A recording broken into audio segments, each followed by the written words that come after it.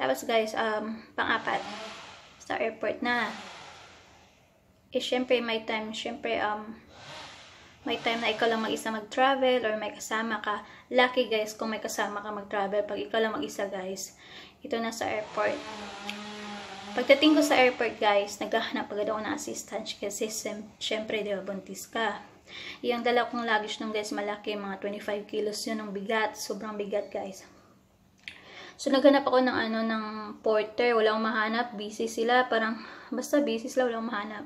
Ngayon, nag-ask ako ng assistant, busy din yung mga assistant, ang dami lang ina-assist. So ginawa ko guys kasi hindi ako po eh. Parang iniisip ko na parang um, baka malate ako or ano. So, dumiretso na lang ako sa ano, sa check-in. So, ano guys, ang mahirap kasi parang nahiya din ako mag-approach sa iba na pwedeng patulong ako na ano, na buhatin yung bag ko. Tapos ano, um, so guys, um, yung assistant na pinagtanungan ko na, na humingi ako ng assistant, um, may porter siyang ano, tinawag na na tulungan ako kasi nga daw buntis ako. Pero hindi rin niya ako ma-assist guys, matulungan kasi nga may pin may ano siya, may ito, may may binubuhat siyang mga luggage din sa ibang tao. So hindi talaga din niya ako matulungan kasi ano nga eh, ito, may may iba siyang inaano, ba? So nung sa X-ray machine guys, ito na sa X-ray machine. Eh syempre yung bag ko 25 kilos, ba, ang bigat. Laki ng luggage ko. So ano um, ito, nung ako na guys, nahiya din akong ano humingi ng ano ng, ng mag-approach na pwede bang tulungan mo ako dun sa katabi kong ano katabi kong pasahero din?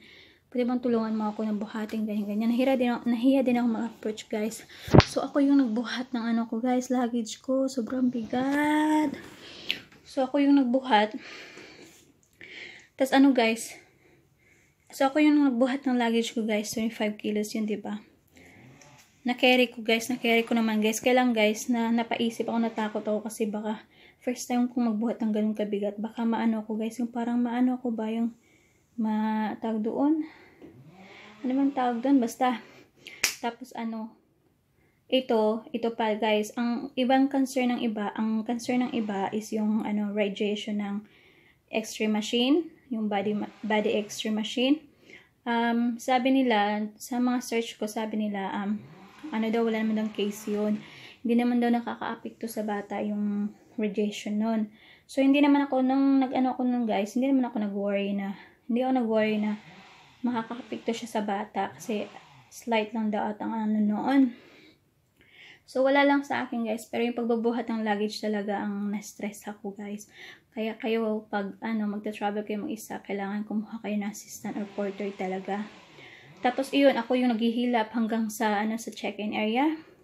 Pagdating sa check-in area, guys, ang unang hingi ng ano ng counter agent is yung ano mo, yung form mo at saka yung passport mo.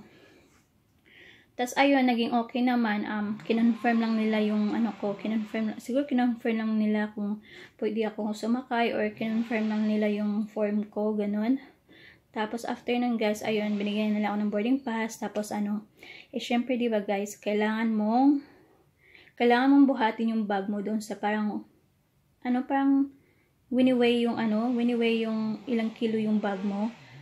Akala ko, tutulungan ako ng, ano, counter agent. Kasi, syempre, alam yung buntis ako, di ba Hindi ako tinulungan. Tsaka, hindi rin ako nag-approach, guys. Mali ko rin siguro kasi hindi rin ako nag-approach na, pwede mo ba akong tulungan kasi mabigat wala guys, tahimik lang din ako. Kaya ano, ako lang din yung nagbuhat para ilagay dun sa, sa ano na yon Sa tawag doon, sa platform na yon na winiweigh yung luggage mo. So, ako lang yung naglagay guys. Sobrang bigat talaga na stress ako. Tapos, ayun na, okay na. After nun, is punta ka na sa immigration. Tapos, ayun, tatanungin ka nila kung ano yung visa visa copy mo. Kasi, syempre, pag, ano, sa ibang bansa walang visa. Para sa Filipino sa sa, sa Filipino sa iba naman may ano may visa like Australia. So hiningi nila yung visa ko copy visa ko tsaka yung passport ko. Tapos ano yun lang. Tapos after nun is extra machine na naman. Pero ano lang yun para sa mga hand carry luggage or bag hand carry luggage lang yun. So, okay lang siya. Hindi pa rin ako nag-worry dun sa sinasabi lang kung nakakapikto ba yung radiation ng x-ray. Hindi pa rin guys. So, ayun, naka, ano ako doon, nakalusot na ako doon sa immigration, sa x-ray. After nun is hanapin mo na yung gate mo. Ito na guys. 'Di ba? Kasi syempre buntis ka. Um, kailangan mo ng tubig lagi. So, may dala ka talagang water bottle. Eh, ang, ang nangyari guys, ang nangyari guys, pag nag, pumasok ka dun sa gate mo, yung gate ko nung time na yun is gate 10. So, pagpasok mo, pag pumasok ka sa gate na yun, kahit ano, pag pumasok ka sa gate na yun guys, chine-check pa nila, pala nila kung may mga water bottle ka or mga ganun. Tapos, kino-confiscate nila. So, nangyari, pumasok na ako kahit maaga pa yung ano ko, flight pa. Ay, bakit kahit maaga pa lang yung flight? Siguro, dumating ako doon mga 9. 9 p.m. Tapos, yung flight ko 11. So, ano, pumasok na ako sa gate. Tapos, kinuha nila yung water bottle ko. Sabi ko, um, kailangan nyo ba talagang kunin to? Kasi kailangan ko kasi buntis kasi ako. Tapos, sabi niya, kailangan po daw kasi. Sabi niya gano'n.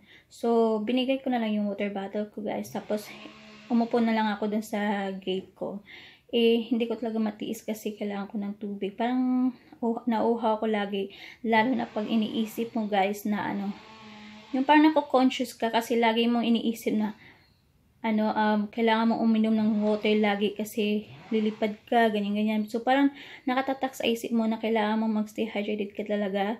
So, anong ginawa ko is nag-exit na naman ako tapos, bumili ako ng tubig. Tapos, doon ako umupo muna sa, ano, sa ibang gate na walang, ano, walang, yung walang x-ray.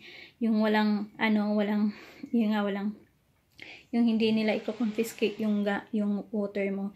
So, doon muna ako umupo sa kabilang gate, guys. Kasi, habang naghihintay ako ng flight ko. Kasi, lagi akong na, ano, lagi akong nauuhaw. Tsaka isa pa do, pangalawa pa doon is lagi akong naghahanap ng bathroom. Yung bathroom guys is yung gate ko is gate 10. Ang bathroom is kailangan pang lumabas ang layo. So ano guys, um hassle siya kasi ano ang layo ng CR. Tapos ano every like every like 10 minutes or 20 minutes at uh, 10 minutes. Every 10 minutes kailangan ko mag mag CR guys. Kaya hassle siya. Tapos ano, okay lang yun kasi parang exercise na rin yung lakad ko noon eh. Tapos ano, ayun na nga guys, yung niresita sa akin ng nagamot ng Obigaini ko, ininom ko na rin siya nung 10 o'clock. Kasi 11 yung flight ko eh. Ininom ko siya ng 10 o'clock. So, ininom ko na rin siya guys. Tapos, so, yun na nga guys, expect na wala akong water dala kasi kinukonfiscate nila yung mga water na dala ng mga pasahero. So, ano guys, yun, nag-worry, nag-worry na naman ako ano, wala akong tubig. Anong gagawin ko? Inisip ko mag-purchase na ako ng container. So, ayun na, kasi na kami. Tapos, ano na doon na kami. Um, kapusok ko pa lang talaga guys. Kapusok ko pa lang talaga. Um, ng water. Sabi niya guys, ano daw, wala, hindi, hindi daw ako makapag-purchase ng water or wala daw lang ganun na makabili ka ng tubig. Pero daw, pwede ka nilang bigyan ng glass of water daw. So parang, isip ko guys, oh nakaka-stress na naman kasi, maganda kasi yung ano, yung may sarili kang tubig. Tapos pag, pag terms na nauuhaw ka, anytime pwede kang uminom, pwede ka magsip-sip lang anytime na gusto mo guys. Hindi ka nakaka-hassle ng ibang tao, hindi ka nakaka-bothered, hindi yung lagi kang magre-request na pwede mong pahingi ako ng tubig, mga ganun guys. So, parang na-stress na naman, na-stress na naman ako kasi ang, tapos kasi ano guys, uh, magre-request ka lang lagi sa kanila. Pero okay naman guys sa ano, pero parang na, na ano ko naman siya na manage ko naman kasi um, lagi din kasi silang lagi din kasi silang, lagi din kasi silang nagso-survey sa ano sa aisle. So parang 50 minutes or every 1 hour akong humihingi ng tubig sa kanila. Pag eh, yung glass ng water nila guys, mga siguro mga yung mga ganyan lang guys, yung glass ng water nila. So maliit lang siya, parang isang ano mo lang talaga, isang inom mo lang. Ginagawa ko guys, um ginagawa ko is ano, sa isang glass, dalawang beses ko siyang iinumin bago ako hingi ulit. Tapos, ano naman, um, nagsiserve naman sila ng meals. So, pag nagsiserve sila ng meals, guys, yun yung time na humihingi ako ng dalawang glass of water talaga or nagpapa-refill ako lagi. Kasi, in case na matagal na naman silang mag, mag-serve ng snacks or ano, at least may water ako guys. Saka at least hindi ako masyado nakakabala na um, pwede mapahinga ako ng tubig ulit, ganyan-ganyan. So, ano naman, na-manage ko naman siya konti. Tapos, ano, um, tawag to kasi pag nasa loob ka kasi ng plane, feeling, wait lang guys, kasi pag nasa loob ka kasi ng plane na guys, feeling mo yung parang lagi kang nauuhaw, laging dry yung throat mo guys, kasi siguro dahil sa ano, sa, hindi ko lang alam, gravity. siguro dahil ganun guys. Basta lagi kang nauuhaw guys, parang laging dry yung throat mo, kaya kailangan mo talaga uminom ng tubig. Tapos, maganda sana guys, pag nasa loob ka ng plane, um, ikaw lang yung mag-isa nakaupo sa row na yon Pero nang time na yon na ako lumipad, may kasama ako sa row, sa row ko, may katabi ako. So, hindi ako makatulog ng ano, yung hindi ako makahiga pag natutulog ako. So, mahirap siya pag natulog ka, um, pag natulog ka, nakakaupo, lalo na tayo, lalo na tayo, di ba, bawal tayong matulog na nakaano yung back natin, kailangan pa, pa right, uh, sabi nila 'di ba, uh, best pos position na matulog is yung left side or pwede na rin right side na rin kasi syempre kung anong comfortable ka, 'di ba? So sinusubukan ko matulog left right uh, left side, guys, ganun. Tapos yung pelo yung unan ko lang is yung unan sa airline. Hindi ako nakabili ng ano, guys, ng yung unan, pang travel na unan. So, kailangan talaga, pag nag-travel ka, kailangan um, ready ka sa lahat. Nakahanda lahat ng ano mo, essentials mo, yung parang komportable ka sa lahat. Like, sa suot mo, komportable ka sa suot mo, may ano siya, may stretchy siya, or stretchy siya, or ano, um, ito, basta, ano ka guys, komportable, hindi masyadong masikip. Tapos, ano, um, may, yun nga, may unan ka, may extra pelo ka guys. Tapos, ayun, um, yun, mahirap, mahirap pumusi, mahirap pumusisyon matulog sa air, airplane, guys. Sobrang hirap. Tapos, hindi rin ako masyado makatulog ng time na yun kasi lagi ako naghahanap ng ano din, ng bathroom nung time na yun. At saka, ang, ang advice din kasi ng doc, diba, is, pag nasa plane ka, kailangan mo rin mag-stretch, kailangan mo maglakad, kailangan mong tumayo, ganun kasi, para iwas swelling or ano pa dyan. So, ginawa ko ng time na yun, guys, tumatayo ako, ini-stretch ko yung paa ko, yung legs ko. Tapos, um, wag mo ring isipin, guys, yung mag-worry ka kung saang seat ka. Pag nag-check-in ka, kung ano, yung kailangan mo bang bumili ng seat mo, sarili mong seat, or mag-book ka ng sarili mong seat, ganun, guys. Um, hindi na siya kailangan kasi, pagbuntis ka kasi, priority nila na sa aisle seat ka talaga nila ipaupo doon ka talaga nila paupo pag buntis ka sa LSIT. So, hindi siya necessary na kailangan mong mag-book ng, um, mag-book ng seat mo kasi ano lang din yun eh, dagdag, um, dagdag payment lang yun, ba diba? Siguro nasa 200 or 300 din ata yung charge nun pang nag, nag-choose ka ng ano, ng mauupuan mo. So, hindi siya necessary na kailangan mag-book ng upuan. Tapos, ano, yun lang. So, kailangan talaga kailangan talaga guys, ito talaga, um, kailangan talaga pa nag-travel ka, especially long haul travel guys. Una, yung doctor doctor appointment talaga is important. Kailangan malaman mo yung situation ng pregnancy mo, kung safe ka mag-travel, fit ka mag-travel.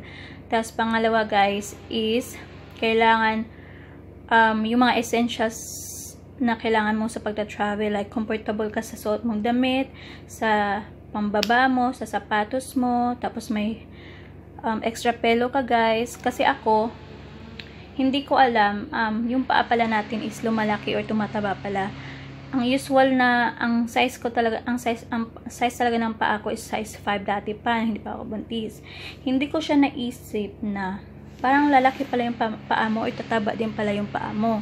So, ang nangyari guys, ang binili kong size ng sapatos is, na flat shoes is size 5 pa rin. So, hindi ko naisip na masikip pala siya. Akala ko parang anormal lang, yung parang ganyan lang, okay lang. So, hindi ko na naisip na nasisikipan na pala yung paa ko. So, kailangan pala pag magsuot ka ng sapatos, may ano siya, extra space siya. Like, example ako, 5. So, kailangan ang sapatos mo is 6 at least may extra ano siya space. Kasi kinabukasan guys, nung paglapag ng eroplano, hindi ko napansin na nagsiswelling pala yung paa ko. Hindi ko napansin. Nung sinundo na ako ng kasama ko, sabi niya, oh, akala ko ba hindi ka nagsiswelling? Bakit yung paa mo magang-maga? Tapos pagtingin ko guys, ha? Sobrang maga guys. Alam mo yung maga guys, dito yung maga niya. Sobrang maga dito guys. Itong part na to, sobrang maga yan. Tapos, ano, sobrang magayan siya. Tapos, nawala din naman siya after, ano, one day. So, ano lang, kailangan lang niyang mag-relax. Nawala din naman yung maga. Tapos, ano yun, yun lang. Nawala naman yung maga guys, after one day. After, one day lang siya, tapos nawala din naman siya. So, yun lang, guys. Yun lang yung tips ko para, ano, pag nag-travel ka, um, long haul, or pag nag-travel ka while pregnant ka. Yun lang. Basta wag mo lang din isipin, ano lang, wag ka lang maano din laging conscious na hala baka may mangyari sa akin o ganun. Kailangan ano lang guys, relax ka lang, positive, think positive, walang aayaw. Think, think positive lang guys. Yun lang din. So guys, lang guys, uh, so guys, yun lang for now uh, on my next video, pag-usapan natin about um, symptoms during pregnancy or symptoms ng pregnancy guys. Pag-usapan natin yan next time sa next video ko. Um, I hope guys you like this video and I hope to see you in my next video. Please don't forget to subscribe